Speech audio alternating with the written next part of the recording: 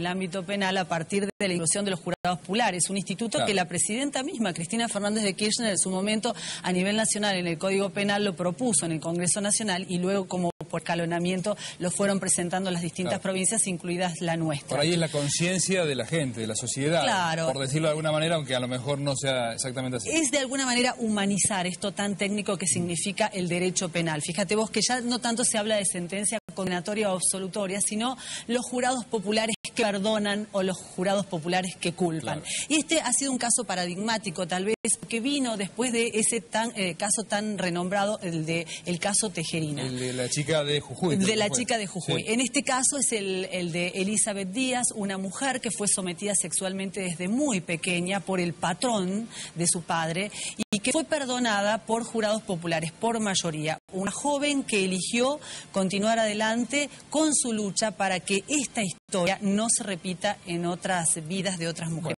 argentinas. Vamos a repasar entonces la, historia, el juicio, los debates y después seguramente vamos a hacer una reflexión en qué terminó la vida de esta mujer. Eli el perdón, así se llama. Integrado con jurados populares y por mayoría estos últimos, resuelve absolver a María Elizabeth Díaz de condiciones personales ya condenadas por el hecho que se le atribuye en la requisitoria fiscal de citación a juicio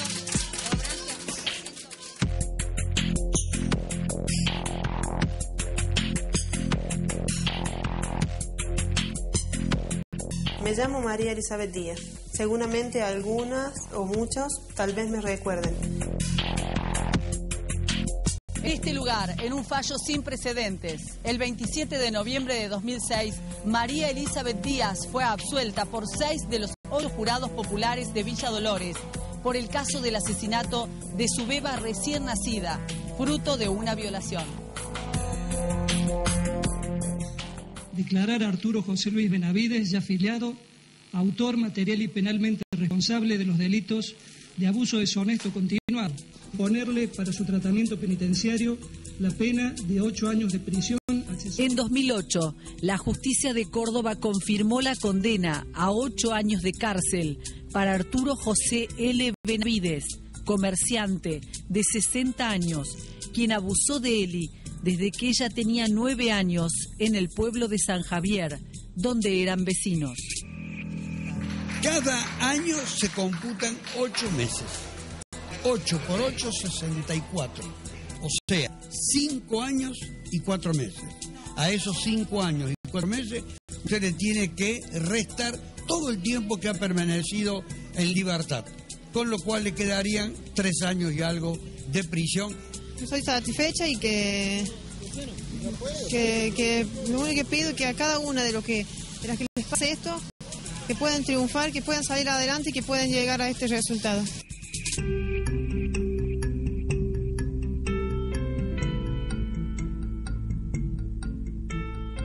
En un principio, cuando recién se, generó todo, eh, había un, terminaba un juicio, se iniciaba otro proceso, después otro juicio, eh, tanta experiencia, tanta, tanta investigación, tantas cosas en las que estuve involucrada, de pronto es como que eso tenía tanto barullo que no me permitía tomar conciencia de lo que veía que las cosas pasaban, pero yo no tomaba conciencia.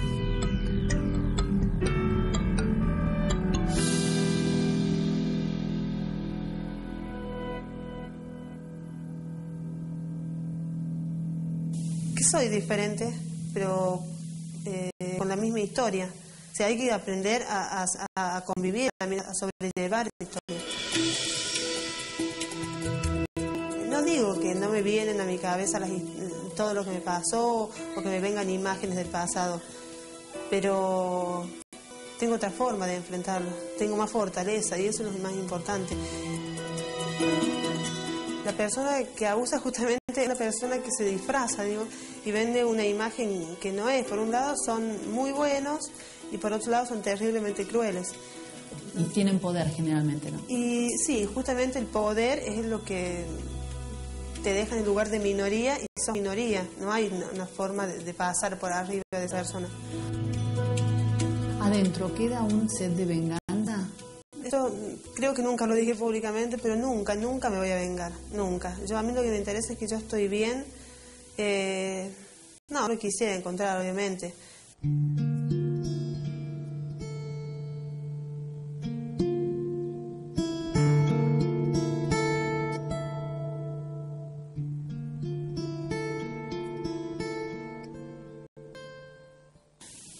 ¿Nunca pudiste confiar en tu familia o no te animaste a contarle a tu familia por lo que estabas pasando?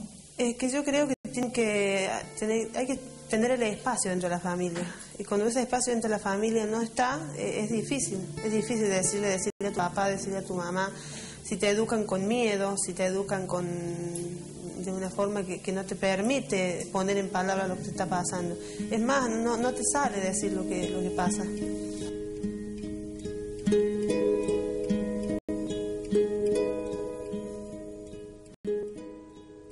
Contar qué es de tu vida hoy? Vivo con dos hermanos que van al, que van al colegio. Eh, uno va a la mañana y el otro va a la noche. Y bueno, después a la tarde tengo clases. Tengo, algunos días entro a las 6 de la tarde y, y salgo después de las 10 a las 11 generalmente de clase. Estoy haciendo un profesorado de biología acá en Villa Dolores. ¿Por qué se te dio estudiar biología? Porque siempre me gustó y en el secundario, en las escuelas, las dos escuelas que fui, eh, siempre la especialidad, una era turismo y la otra era economía. Y tuve poca biología en el secundario, siempre me gustó. ¿En qué trabajas, Eli? En casa de familia. ¿Qué tareas haces? Todas las tareas de una casa de familia, limpiar, hacer, menos cocinar, todo, todo eso menos cocinar. Después de cinco años, Eli se vuelve a conectar con la vida. En aquel entonces, el máximo tribunal justificó su decisión, aseverando que padecía un estado que le impedía comprender la criminalidad de sus actos. Hoy, Eli estudia la vida misma desde sus comienzos y además cuida como una madre de su sobrinita María Esperanza. Mira, a mí me hace muy bien, así que es muy chiquita, tiene dos años, eh, y me hace muy bien, digo, también ayudarla a, a, la mamá que está, bueno, que por ahí está muy sola, digamos, en, la tarea, y, y, porque a mí también me hace bien, me hace bien. Y yo creo que dar amor los hace bien a todos, a todos nos hace bien dar amor, te, te deja como muy regocijado y al mismo tiempo ver al, al otro que está bien eh, también, también eso te genera, te genera algo lindo. Eli trabaja con un grupo de mujeres de Tras la Sierra. Su caso sirve de base para que hechos de este tipo no se repitan con otras niñas. Yo, como muchas, he sufrido mucho en mi vida. Por eso busco incansablemente lograr que mi dolor no haya sido en vano que aquellas lágrimas que quedaron entre las cuatro paredes de mi casa algún día den fruto, porque creo en la justicia y tengo la esperanza de que al fin de la batalla me digan se hizo justicia.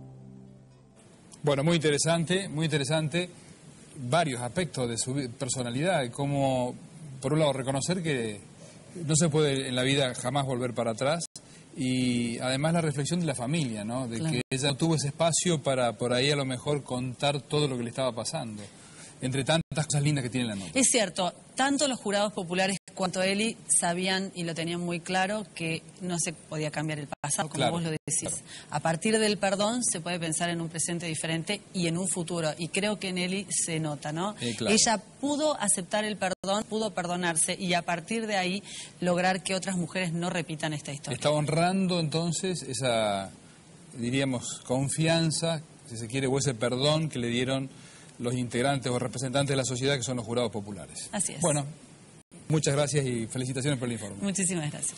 Nos vamos a pausa.